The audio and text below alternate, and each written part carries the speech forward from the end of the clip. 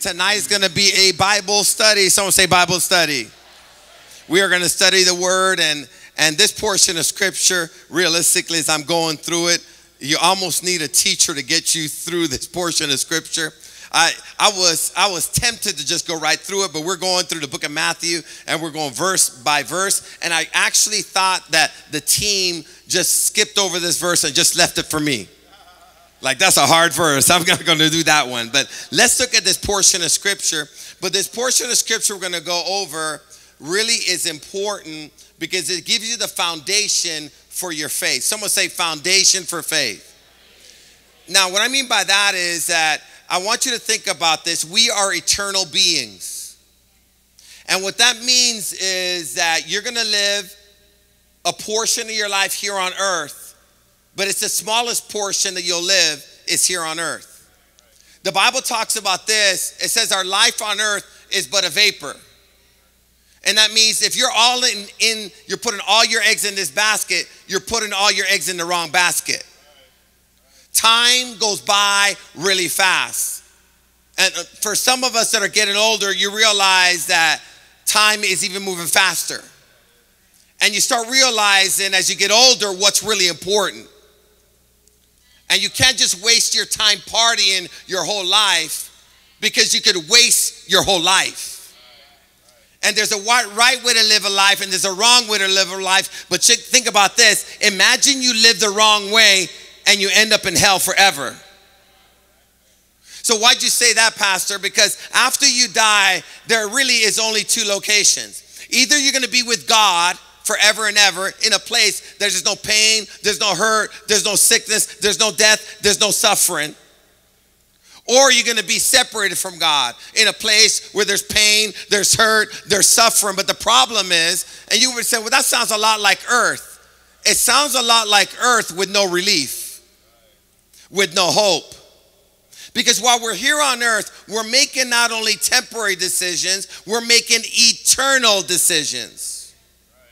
And I talk to people as a pastor that are on the verge of death. And everyone that's on the verge of death, they're calling me just to make sure that they're right with God. Because nobody that's breathing their last breath is thinking about how clean their car is, what's in their bank account, or how good their clothes look, or whether their nails are done. What they're thinking about is I'm ready to leave, breathe my last breath, and I'm not sure I'm right with God. I'm ready to go into eternity.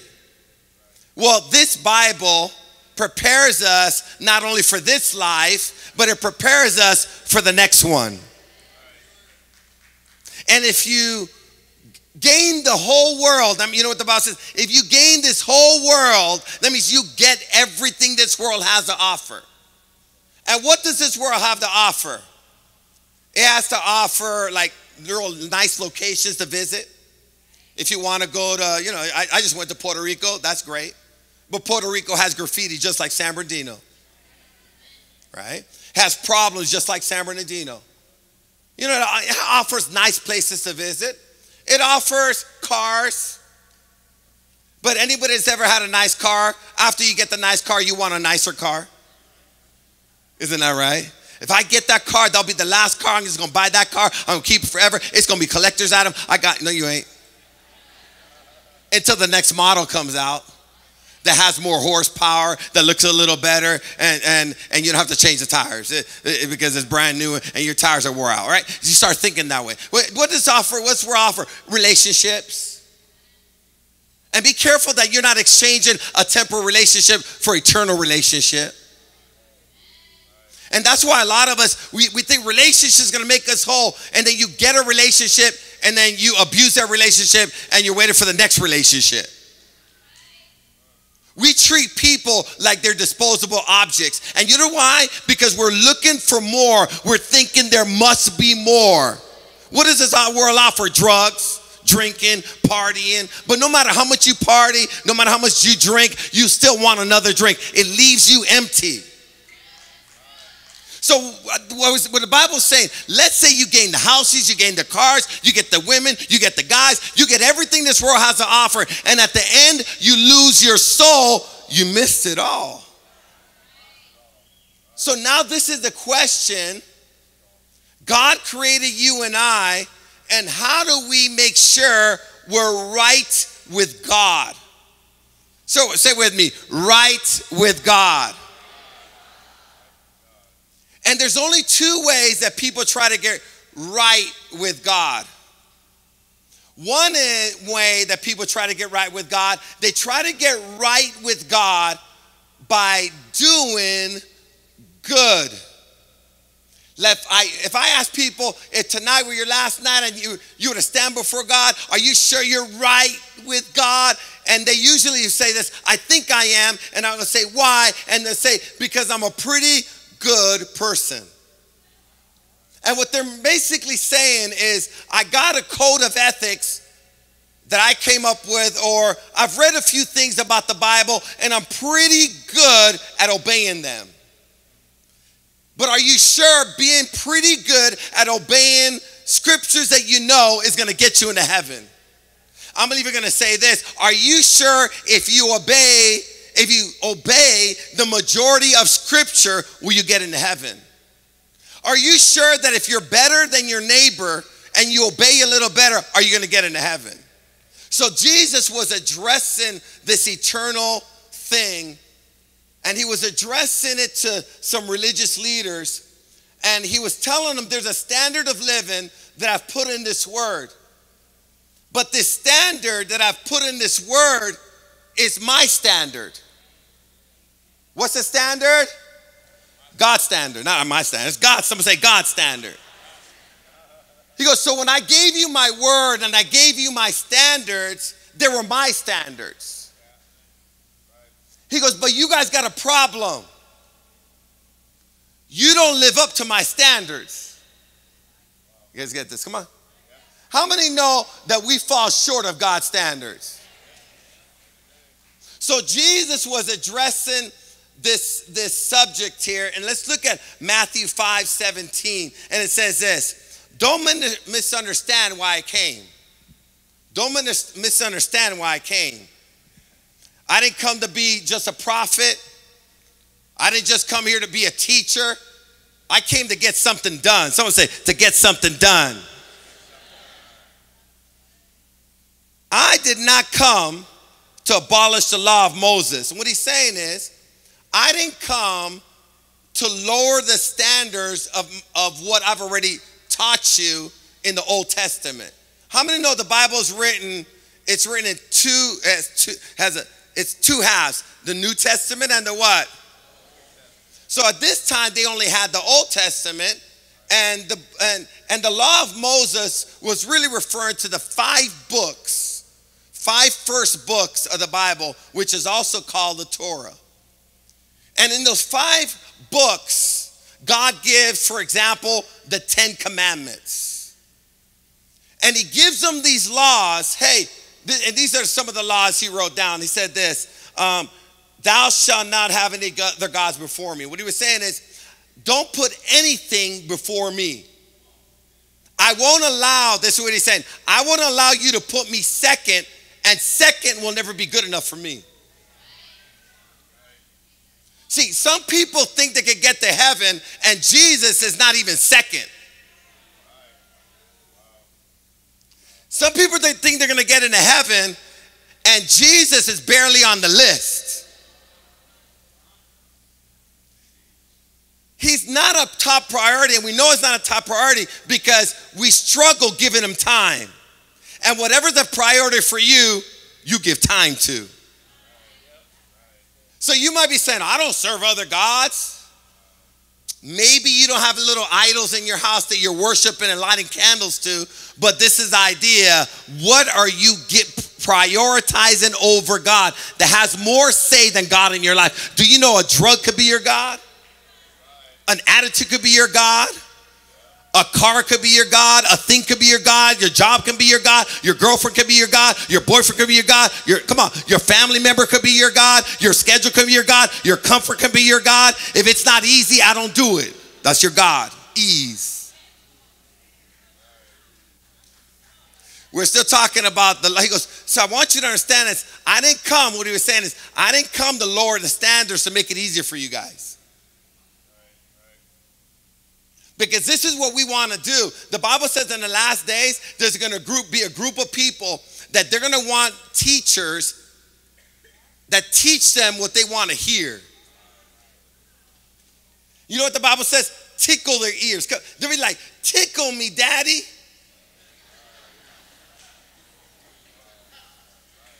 Like when I want to, this is what they're saying. When I come to church, I want to feel good. Because my God is feel good. I want to feel like when I go to a baseball game, they entertain me.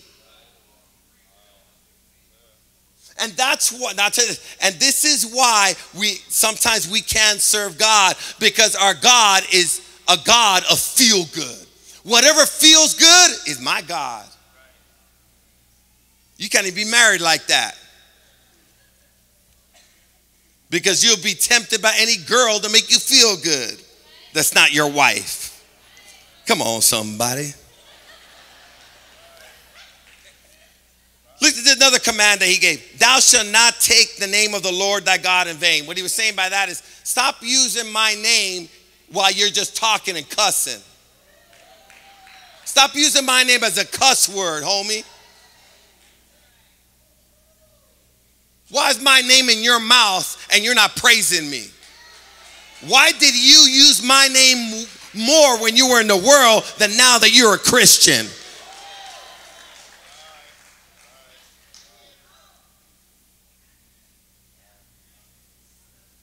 Some of us are using God's name in vain. And, and, this is an issue we think is a big joke. But understand this the idea, I think every one of us have used God's name in vain.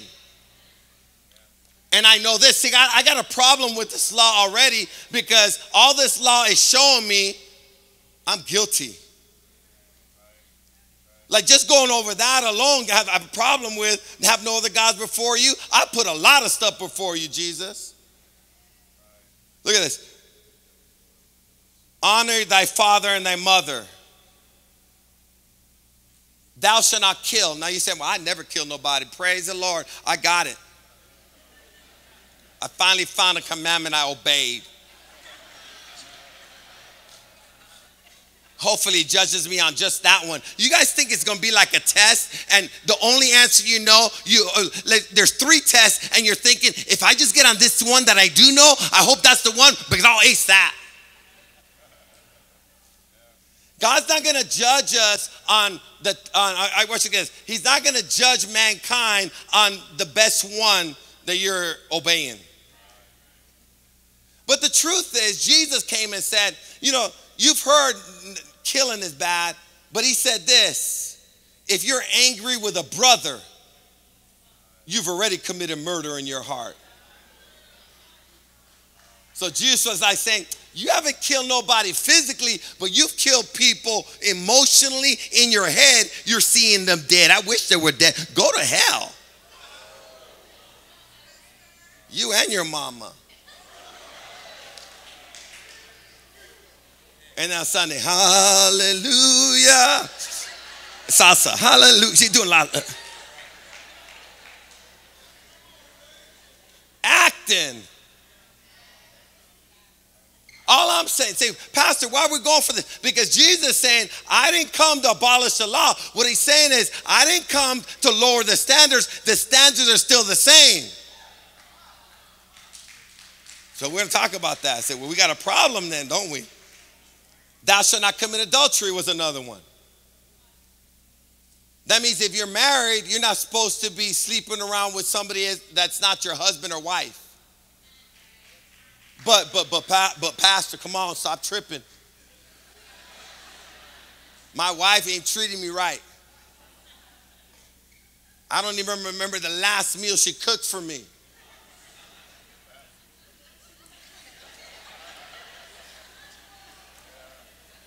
And the last meal she cooked for me was, was, some, was, some, was some spaghetti in a can. And the other thing, she don't respect me.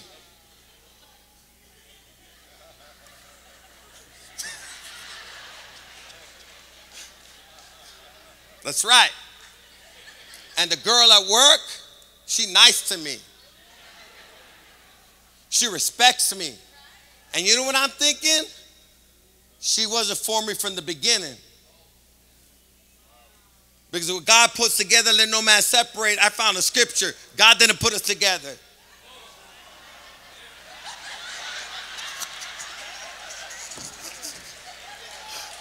You know what you're doing? You're lying to yourself to justify your adultery. And I, am going to tell you this we are good liars and justifiers and lawyers. You all of a sudden using scripture to justify your adulterous affair. If you're if you're married, you can't be with nobody else. It's called adultery. It don't matter what you call it. Well, someone said, Well, you know, Pastor, that was great, great try, but I'm not committing adultery. And the truth is, I've never committed adultery.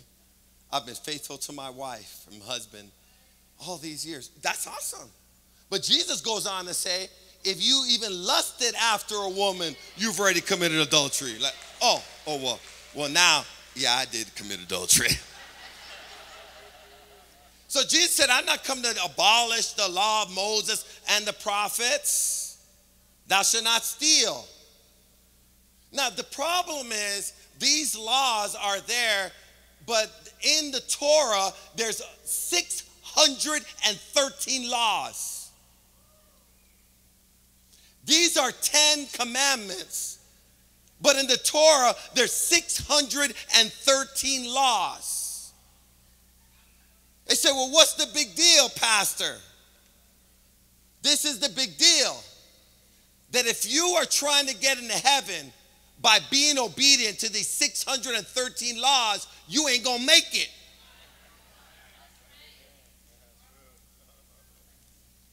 Well, how am I gonna get in then? This is the difference between religion and relationship with Jesus. Jesus made a way for you to have a relationship with him, to be forgiven of every one of your sins, and, and take you out from under the curse that you put yourself under by the bad decisions me and you have made. Because the truth is, this is who we are, or who I am. I'll say who I am. I've worshiped other gods. I'm an adulterer, thief. I killed some people in my mind. and you know what I, mean, what I mean by that is there's some people that I've thought in my mind if they die, I'll be okay. Come on. They're getting quiet like, uh, not, not me, Pastor. Well, you're more righteous than me.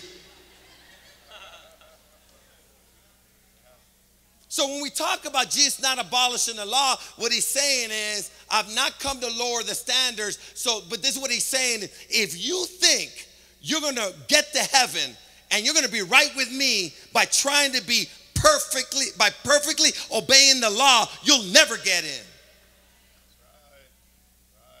So what, what, what, what are we talking about now? Let's keep on talking about this for a minute.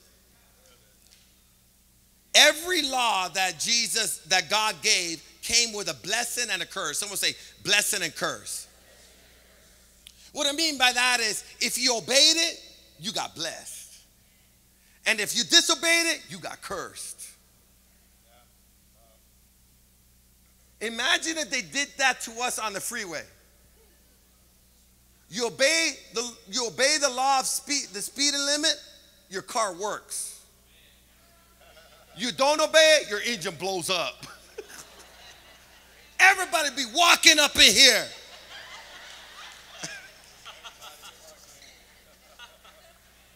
Have you ever got pulled over by police and tell them you weren't speeding? It don't matter. You are a speeder. Maybe that moment you're only going, and you're talking about you're only going 10 miles over the speed limit. What we're talking about, we're what are we talking about? Every law came with a blessing and a curse. Look at this law, which was a cra- look, real simple law. Exodus 20, 12. Look what it says. This is a blessing. Someone say blessing. Honor your father and your mother. Then you will live a long, full life in the land the Lord God is giving you. That's cool. So it's saying if you honor your father and your mother, you would have an extension of life in a place of blessing. So what, it, saying is you'll have a long, blessed life. How many want to have a long, blessed life? Okay, now will you sign up for this blessing? You would sign up only if you didn't know the curse, if you didn't honor your father and your mother. So if you dishonored your father and your mother, look what it says here in Leviticus 20. So if you obeyed it, you got a blessing. If you disobeyed it, you got a curse. Leviticus 29. For anyone, this is before Jesus came. Thank you, Jesus. Because all you guys would be dead after this scripture right here we wouldn't even have a church. Because the consequences were severe. For everyone who curses, look at this, his father or mother or his mother shall surely be put to death. Did I, did I, son, what did I hear from you? What was, did I hear underneath your breath? I don't think I heard what I think I heard. Because you know I could take you out right now if you're dead. The law tells me I could do this. Now, would they actually carry this out? They would. Once, back in those days, a child dishonored their parents by cussing them out, they were brought outside the city and stoned to death. And they, this is what they figured. If he's cussing his mother and father out now, what he's gonna do when he's older? The idea was that sin came with a payment. And I think we've lost the fear of God, understanding this that when you make a bad decision, it's going to come with a payment. Getting quiet up in here today. But just imagine, you just died, man. So the law, someone say the law. The law of Moses demanded a sacrifice every time a sin was committed. So there was no such thing as committing a sin without a sacrifice brought with that sin. And if you didn't bring the sacrifice, the curse remained on you. So if you sin, this is what's crazy. This is what look what happened. In Leviticus 16 11 says, Aaron shall present the bull as a sin offering for himself. And he shall make atonement for himself and for his house. He shall kill the bull as a sin offering for himself. The idea was every sin had a penalty of death upon it. Either the sinner dies for his sins or he presents a sacrifice to die in his place. Just imagine sinning and bringing a bull we would have a lot of bull in this church.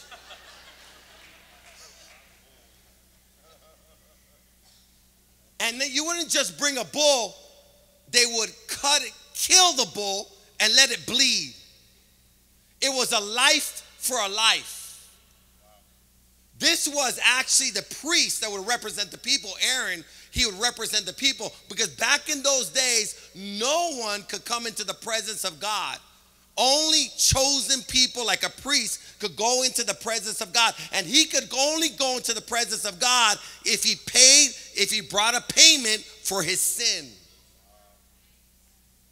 We're thinking, so I want you to think about, I think today, just because we're not bringing instant payment, we think actually there's no payment. The difference between us and them is that we're storing up payment. You know what that's called? Storing up wrath. You know what I really believe? There's levels in hell. Some people are going to be in the big down, the, the chambers of hell. Ah.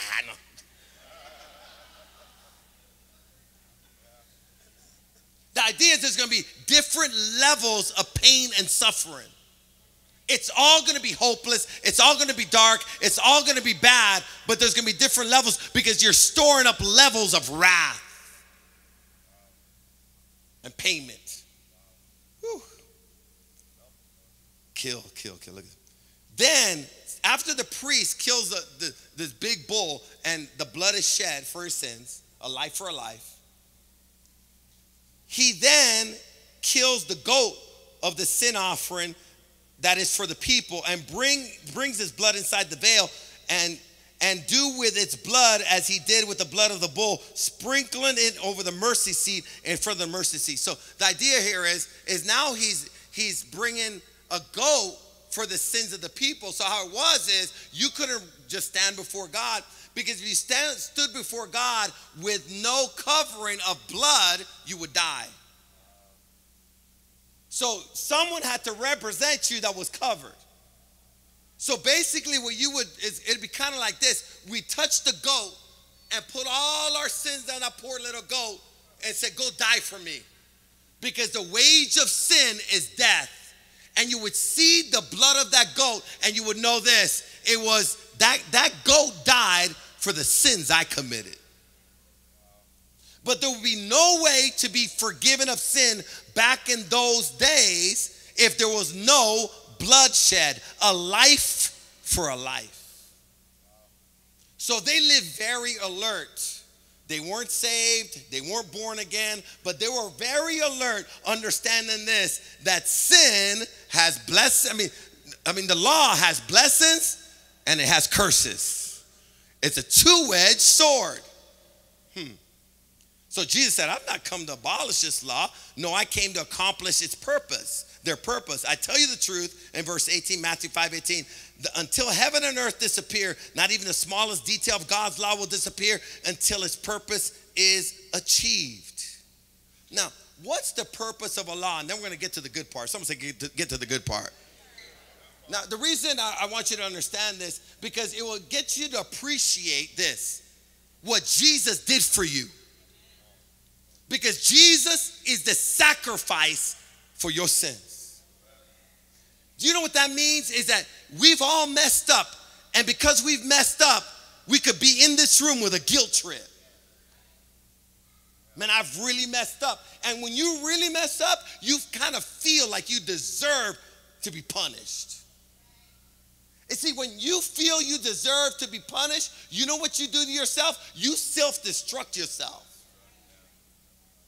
You start doing stuff like this I don't care. Well, I'll kill you. I, I, don't even care if you kill me. I already die. I, do what you need. Do what you need to do. You know what happens? You start living a reckless life. There was a day you used to be careful. You're not careful anymore. You could even start thinking about suicidal thoughts. You're thinking, you know, I don't care. I don't care if I die. And you know what that is? It's a guilt trip. You've lost the value for your life. And there's something over you that's telling you you're no good, you're not worth it. But there's a God that says this I gave you a law and I know you can't fulfill it. But I'm gonna send you a Savior that can't fulfill it for you. He's gonna walk it out for you, He's gonna live it out for you.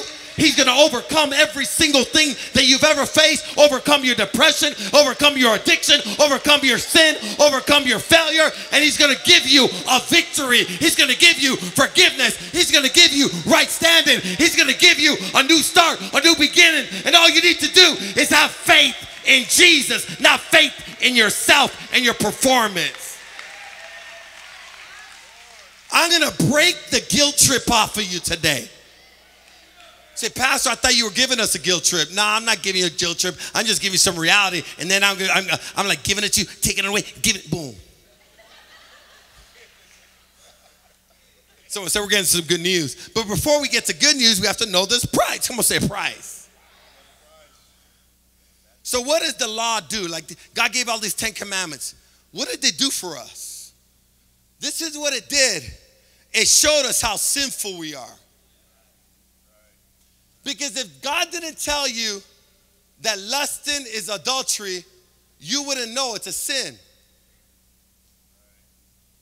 If God didn't tell you that stealing is wrong, you say, you justify your stealing and say, nowhere in the Bible does it say stealing is wrong. I'm like Robin Hood. I take from the rich and I give to the poor. That's what I do.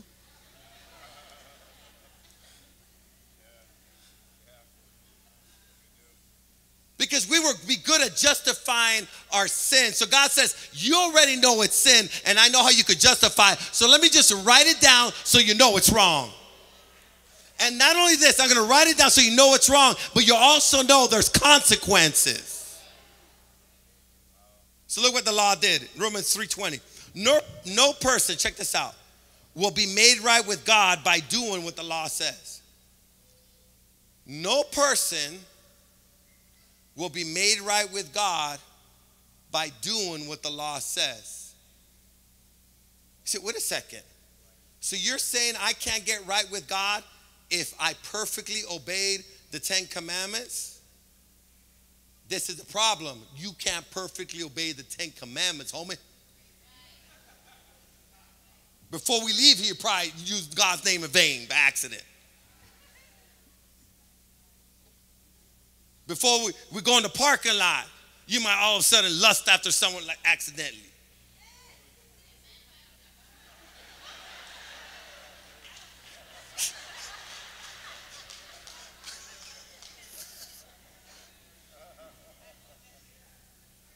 Before we leave here, you already stole something that belongs to God because you didn't give your tithes. Praise the Lord little some little thieves up in here.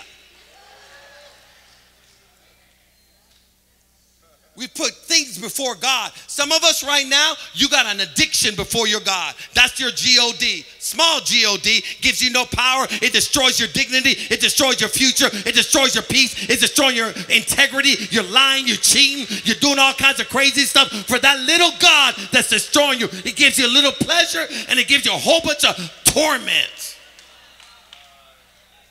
It got you stealing from your own mama.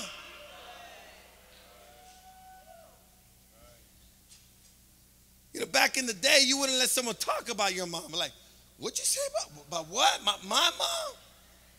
Those are fighting words, and now you're stealing from her for your God.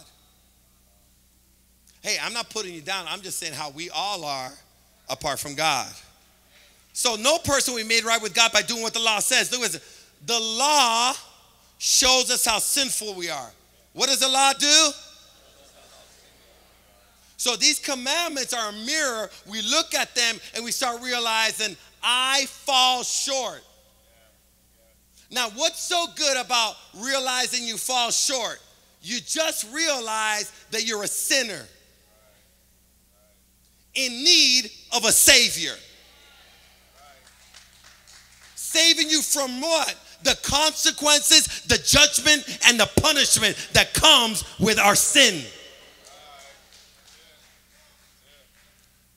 So many of us know God as a Savior, and Jesus is your Savior if you call on Him to save you. But if you never call on Him to save you, one day you store up the wrath and He'll be your judge.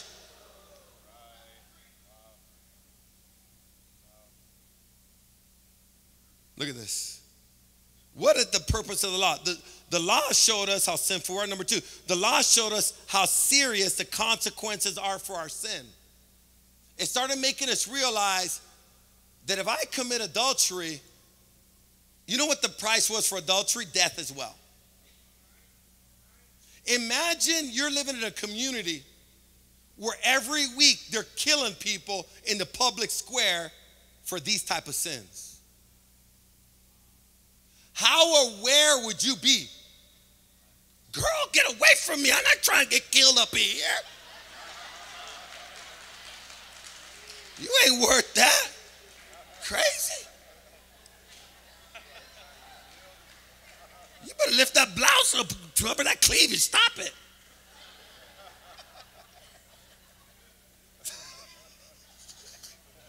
How many understand that was really happening? Say, man, did you hear what happened to Samantha? What? She got caught in adultery. She's out there in the public square. She is dead. What up? What happened to Hugo? Where, that was committed adultery with her. He running, man. He's in another town right now. They're looking for him though. They got a hit on him too. I guarantee you this. You'll be like realizing I'm not about adultery. Honey, I love you. I love you so much. I'll never look at another woman. I promise you. You know what we've lost? The fear of God.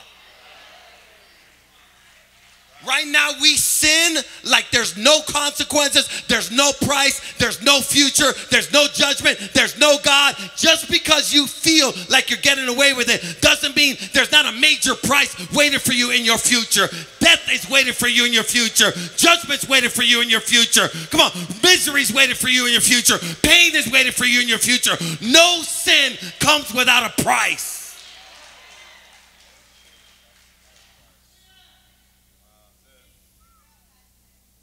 Some of us, when we get caught in sin and you get in trouble, you get all mad. Don't get mad. Be grateful you got caught on this side of life.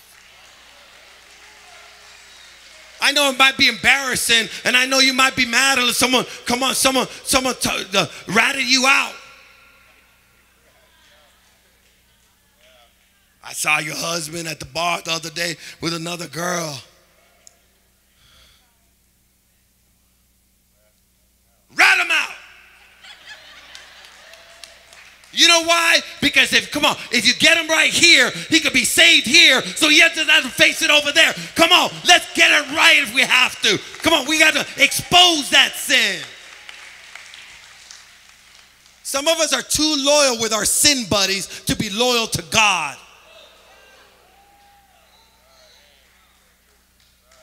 Oh, man. The law shows us how sinful we are. Look at Romans 4:15 says, "For the law brings is what the law brings is punishment." What does the law bring? Why does it bring punishment? Because when God shows us his standards, we break it. And after we break it, the, remember the law comes with blessing and it comes with curses. When we break it, we release a curse over our lives. Now and for later. So this is the good news. Praise the Lord. I just thank God there's a way to get right with God without having to obey 613 rules. Because I think in every single one of us, there's almost like a rebellious part of us. They give you a rule and say, Oh, really? I'll break it. Don't you give me a rule. I promise you, give me another rule, I'll break that one too. How many know that's the rebellious nature in us? It's not right, but we do. So God has showed us a way to be right. Someone say, Get right with God. So, what Jesus said, I'm not going to destroy the law, abolish the law. I'm not going to destroy none of it until, until it fulfills its purpose. Until it fulfills what? So the purpose was to show us that we are sinners in need of a savior. Show us that we're what? Sinners in need of what? Do we need a savior? Because we're all in trouble because we've all sinned and we're storing up wrath, eternal separation from God. Right now, we got generational curses on our families because of unrepented sin. Our kids are getting depressed at a younger ages because we haven't repented of our adult sin. So we're passing on curses to our children. They haven't even got to do the sin yet, but they got the consequences and the curse already because we've not repented.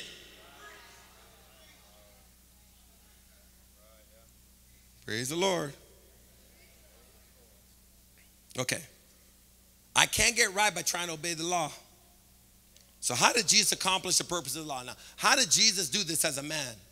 Jesus accomplished the law by living a fully obedient life. Who Jesus lived a fully obedient life. Someone say fully obedient. That means that Jesus accomplished the law by fully obeying the law, not sinning, not, not giving into even one sin. Jesus was 100% is 100% sinless. In 1 Peter 2:22, Christ did not sin or even tell a lie. Christ was with, without guile, no lie, 100% pure. So, what did he do? He took our place. He goes, You know, you can't do it. Step back. Let me do it for you.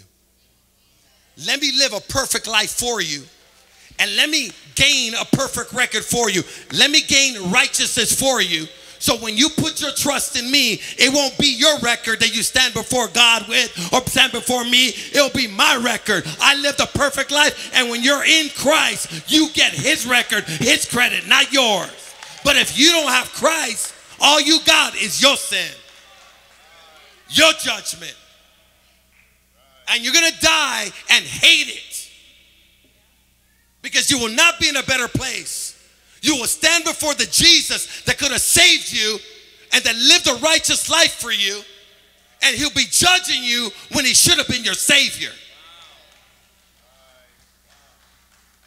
And for some of us right now, we're right now reaping consequences. And this is what God is saying to some of you stop being hard headed. What is it going to take for you to finally surrender your life to Jesus? Look at this. Jesus accomplished the law by fulfilling his prophecy by coming as a savior. So in Genesis 22 18, it says, And your seed, Christ, shall, um, and in your seed, Christ, shall all the nations of the earth be blessed. This was thousands of years before Jesus showed up. It was prophesying that a Messiah, a Savior to come to bless people. Jesus did not come to judge you, Jesus came to save you, bless you help you, strengthen you, forgive you. And we'll end it with this Jesus accomplished what the law could not accomplish right standing with God. Instead of you bringing a sacrifice, a bull, a ram, a goat, or you bringing yourself to be sacrificed, for your own sins. Jesus says, Hold up, I'll live it and I'll die for you. I'll pay the price for your sin. I'll take, I love you so much, I'll take on your curse and remove your guilt. You can be forgiven if you place your faith, not in religion not in a person, but in Jesus Christ, your Savior. He paid the price for all the wrong we've done. He fulfilled the law. He showed us we're sinners in need of a Savior. He came as a Savior and He paid the ultimate price. He paid the price by giving His life for every single sin. The blood of goats, the blood of bulls wasn't enough. So God sent the perfect blood of His only Son to die for you, to show you how much you're worth, so you can be forgiven and have a blessed life. You can have a new life today.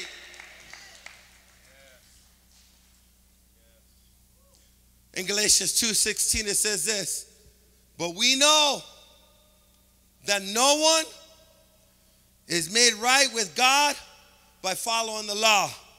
Because the law all it does is show us we're sinners and show us that there's punishment for sin. We're made right with God. It is in trusting in Jesus Christ that makes us a person right with God.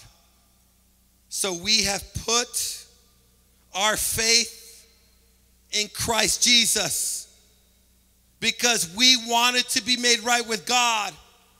So we didn't put our faith in ourselves and our works and our goodness, but His goodness. And we are right with Him because we trusted in Christ, not because we followed the law. I can say this because no one can be made right with God by following the law. Jesus did this. He died in your place. And because he died in your place, the Father holds back his wrath that was directed towards us, and he directs it towards his Son. So when Jesus was on that cross, you know what he's saying? I love you so much. You are hopeless. You cannot help yourself because you're a sinner deserving judgment. But I've never sinned and I don't deserve judgment, so I'll take your sin and I'll suffer and I'll bleed and I'll take your guilt and I'll take your shame and I'll give you my right stand and I'll give you my forgiveness. I'll give you my freedom. I'll give you my joy. I'll give you my peace. And this is what's so awesome. And I'll never take it away. Come on, give God some praise. I'll never take it away. I'll make you right and I'll never take it away. Come on, give God some praise that you have placed your faith in Jesus and He's forgiven you and the curse has been removed. Let's all stand up. Pastor Robert, can you close us out, please? Because this, this, this oh, Christian's here. Oh, Christian's singing. I forgot. I thought Christian wanted to take over the mic. Now, guys, how many receive a word from God tonight? How many understand the Bible a little better now? How many understand what Jesus did for them now? Now understand this. Believing in, I want you to get this. Knowing that we're all sinners. We, ain't nobody better than nobody here. You look at those Ten Commandments, we broke every one of them, I think. And because we broke every one of them, the law doesn't help us because there's a blessing for obeying them, but we broke them. So all we're left with is the curse and the punishment. And when we feel the pain of our sin, this is what we do. We try to escape it through drugs, drinking, escapism. And we get ourselves deeper in the hole. It's time for you to finally realize I can't fix me, I can't save me. Jesus saved me, make me whole. When Jesus saves you, he'll forgive you. He'll, he'll bring his spirit inside of you to empower you to live a new life. You come the way you are. You don't fix yourself and come to God. You come as a sinner just like me. You come to God, He saves you, He delivers you. You put your faith in, He gives you a new life, and today's your day. Pastor Robert, let's lead him in that prayer. Yeah, how many enjoyed that word tonight? Wasn't that great? Now, here we go. Now, here's our opportunity to now we, we hear the word of God, we just heard it. Now we have to take it in action right now. This is the time now to apply what we've just learned right now. Trying to obey the law, the Old Testament, can't do it. It's impossible. Jesus came. The last scripture we just read, in order to get right with God, this is all we have to do, is put our faith in Jesus Christ. That's it. That's it. Whoa, where'd that come from? Some of the Pastor Marco's like echoing off the things here. Crazy back here. Oh, there he goes. He's back there. I was like, whoa, where'd he go? so here we are. If you're saying, Pastor, you know what? I want to put my faith in Jesus. I want to be forgiven of all my sins. Everything that I've done wrong. Today is your day to get right with God. Today is your day. It's not tomorrow. It's not next week. It's not next month. The Bible says today is the day of salvation. Pastor Marco said earlier, life is like a vapor. We're here for a second and we're gone. So before we leave this auditorium today, before you disconnect online, let me ask you this question.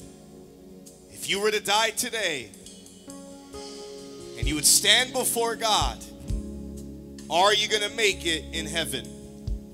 How do we get to heaven again? Just placing our faith in Jesus.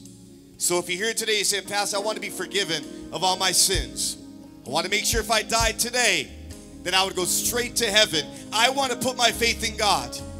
Or maybe you're here today and you've been running and even backsliding, running from God, you're saying, Man, I just want a new start today. I've been going this way and I, I just want to turn back with God. I want to rededicate my life to Jesus tonight. I'm going to count to three. All across this auditorium, those that are watching online right now, if you're saying, Pastor, I want to get right with God. I want to place my faith in Him.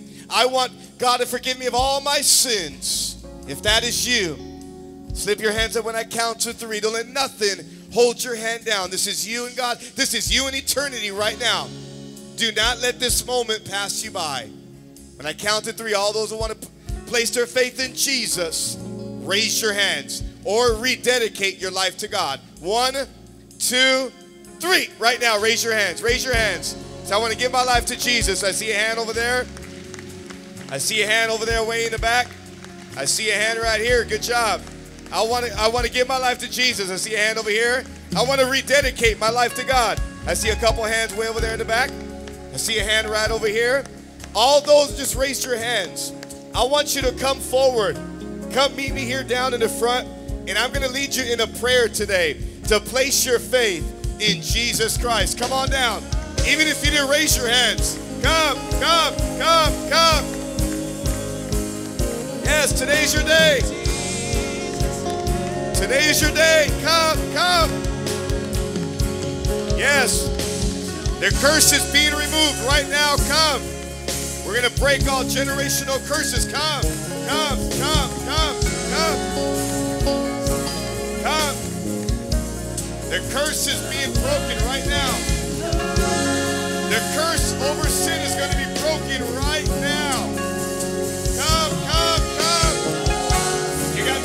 seconds. Come. 20 more seconds. Come. Come give your life to Jesus. This is your day.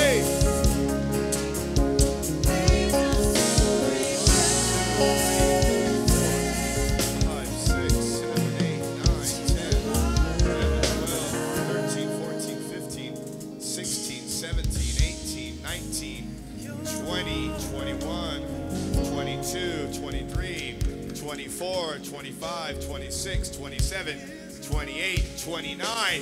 Give God a big shout of praise. 29 people up here right now saying, you know what? I want to give my life to Jesus. This is your day. This is your day. Every head bowed, every eyes closed. You're watching us online right now and you're saying, That's Pastor, you can't see me, but I raised my hand. I'm standing right there in my living room, right there in my job. Say this prayer right there with us. You'll be saved. Those watching online, as soon as you say this prayer, you're going to go to igotsaved.com and we're going to help you with your walk with God. Every head bowed, every eyes closed. Maybe you didn't come up, but you're at your seat right now. And you're saying, man, how come I didn't go down? And your heart's beating right now. Hands might be getting all sweaty. You said, man, what am I doing at my seat? I should have went down there. What am I doing? It's okay. Just say that prayer right there at your seat. God's going to meet you there. But I do ask this if you say it at your seat, come let one of us know. We just want to pray with you and help you with your walk with Christ. Every head bow, every eyes closed. Online, get ready. Say this prayer with us as well. Repeat after me. Say, Jesus, I ask forgiveness. I repent of all the sins I've committed. Jesus, I thank you for dying on the cross and paying the penalty for my sins. Jesus, come into my heart. Become my Lord and Savior. Holy Spirit, fill me. Jesus, tonight I ask you to set me free from all my addictions. I ask you, Jesus, to break every generational curse. Jesus, I thank you. Me and my house, me and my family, we will serve the Lord. Use me to reach my family. Use me to reach my friends. Thank you, Jesus. I am saved.